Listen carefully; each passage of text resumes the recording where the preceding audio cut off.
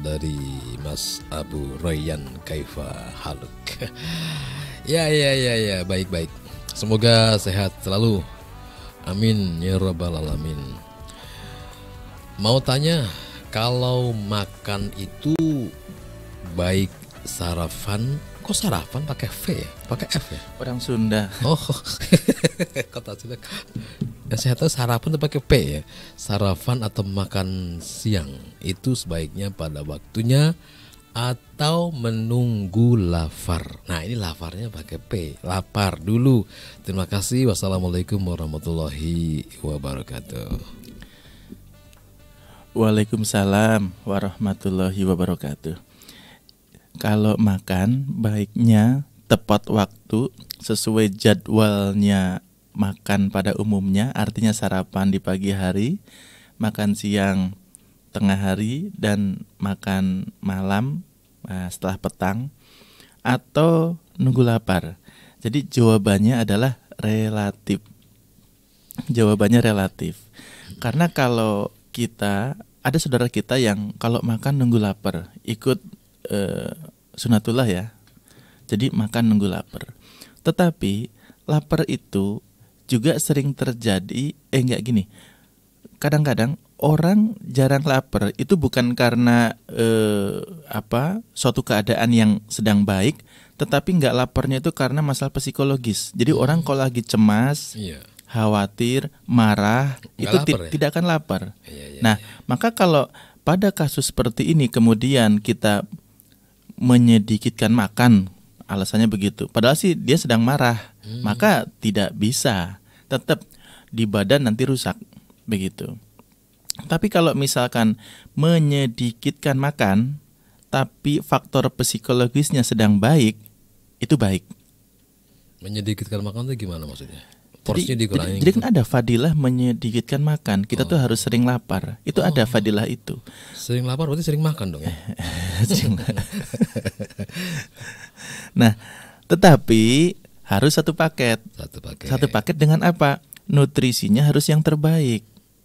Nah, kami katakan kalau ke santri begini, Anda boleh nggak makan pagi, Hmm. boleh sedikit makan siang, tapi minumnya susu kambing ya. Waduh. Begitu. Jadi Iya, harus iya, satu iya, paket. iya, iya, iya. Iya, karena karena eh, yang menyedikitkan makan itu makanannya juga yang pas dimakan terbaik kualitasnya. Ya, jadi kurma itu bukan bandingannya kerupuk. Ya. Nah, jadi gini maksud Iyalah, maksudnya mau kurma, mau kalau kalau sedikit makan tapi ternyata makannya tiga, bu- tiga butir kurma gitu. Hmm. Ya tentu tidak bisa dibandingkan dengan menyedikitkan makan terus pas makan ketemunya nasi sama kerupuk sama bihun karbohidrat semuanya. Ya nggak bisa. Kemudian minumnya ya air putih. Air putih bagus sehat. Tapi susu itu untuk melengkapi nutrisi. Susu kambing apa susu sapi? susu apa saja. Tadi ya bilang kambing. ya kam ya Ada kalau kambing. kalau kalau di Arab sana kan Kambing. eh, kami itu cuma menyesuaikan. Jadi jadi ada di kitabnya kan bahwa bahwa menyedikitkan makan itu ada fadilah. Iya. Ya, ada keafdolan. Nah, tapi di sana itu namanya susu kambing itu ya suatu barang yang bukan mewah ya sehari-hari bisa dapat susu kambing kan Di begitu. sana. Di Di, sini sana. di sini susu Lumayan. sapi pun mewah begitu. Iya. iya. Kambing, sapi juga mewah. Jadi, nah ini juga kami ingin ingin ingin terus berkampanye nih Hmm. persepsi mengenai makanan nih, pandangan Iya, iya, makanan. Jadi makanan itu tolong jangan dipandang sebagai kemewahan tapi kebutuhan. Contoh, oh hari ini saya belum ketemu buah, maka harus cari buah. Karena tubuh kita perlu nutrisi yang itu hanya ada di buah, tidak ada di bahan makanan lain. Contoh, kita sehari perlu vitamin C 60 mg. Maka itu dapat dari mana? Dari sayur dan buah. Nggak mungkin didapat dari telur, kemudian nasi, daging, Nggak gitu. ada ya. Nah, jadi kita perlu cari buah. Maka nyari buah itu bukan kemudian kita itu ya dipandang menambah-nambahi kebutuhan bukan, tapi itu kebutuhan primer. Jadi tubuh kita itu dalam sehari ada kebutuhan minimal nutrisi. Contoh, vitamin C 60 mg, karbohidrat kemudian 170 gram. Nah, seperti itu.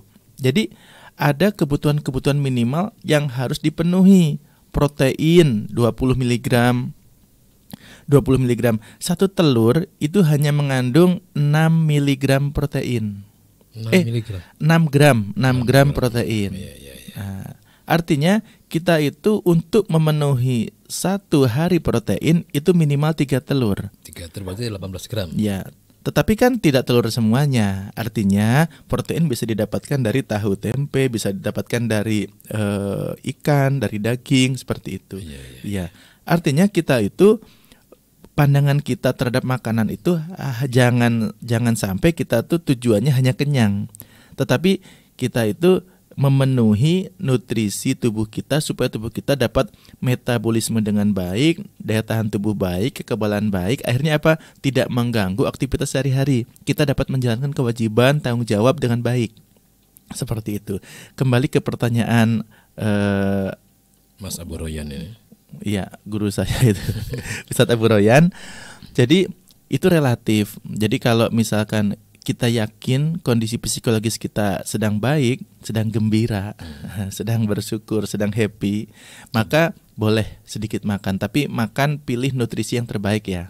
Jadi sayurnya harus dapat, buah-buahnya dapat, protein hewani, protein nabatinya ada, karbohidrat cukup, eh, air cukup, selesai. Nah, eh, tapi tapi kita bisa melihat kita itu males makan karena faktor psikologis atau memang memang kita itu badan kita itu memang bisa diajak untuk lapar gitu kan bisa membedakan iya Kalau kita diajak untuk lapar ya. ya buktinya kalau maksudnya gini yang kedua itu adalah kalau kita puasa badan kita tuh mempersiapkan diri bisa kemudian diajak lapar Iya. Iya. Dan sistem tubuh kita mampu mengadaptasi itu, mentoleransi itu.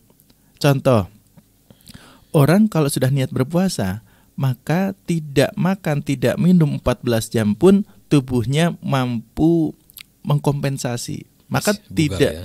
tidak ada produktivitas yang terganggu karena puasa sebetulnya. Iya. Iya. Karena saat asupan glukosa itu dihentikan karena kita stop makan, maka tubuh itu akan mengurai cadangan energi lain di tubuh kita. Iya. Intinya tubuh kita itu tetap akan beroperasi dengan normal.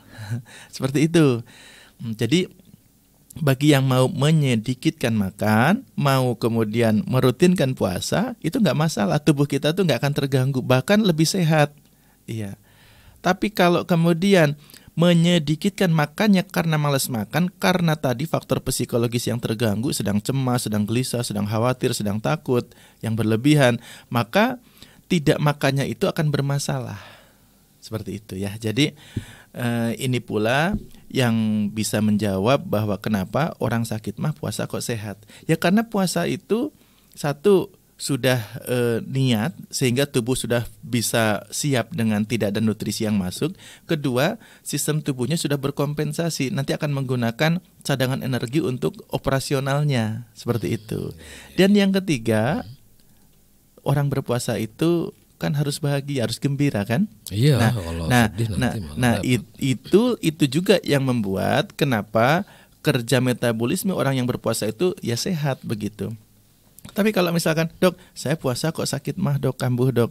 Ya memang sebabnya banyak. Cuma patut diwaspadai jangan-jangan puasa sambil hatinya itu tidak puasa, Gelisah.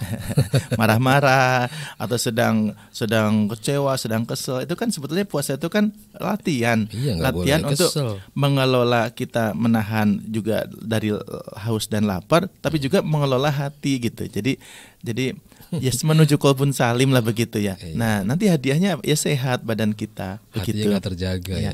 Jadi itu ya jawabannya relatif. Relatif, ya. Relatif.